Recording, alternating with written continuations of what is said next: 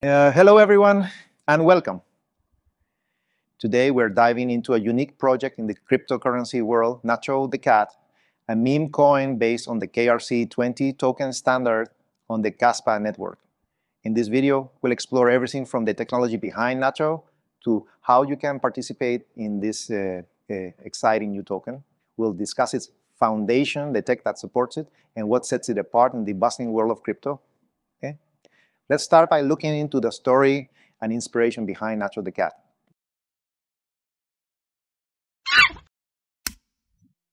Nacho isn't just a digital asset, it's a meme coin with a personal touch.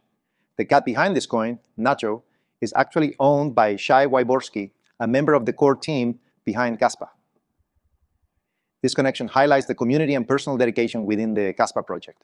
The creation of Nacho by the Cat as a KRC 20 token is, was inspired to champion the amazing work of the Kasplex team, who developed the KRC 20 token uh, standard.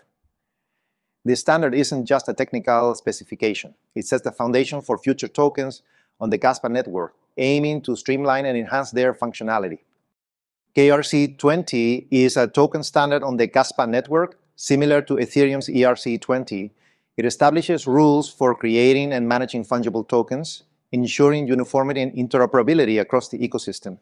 This facilitates a seamless integration into wallets, exchanges, and applications, supporting robust, scalable, decentralized applications.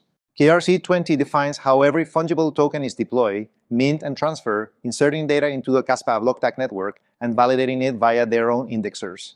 Kasplex sets standards for creating KRC20 tokens and NFTs on the Kaspa network, featuring open source indexers and comprehensive APIs.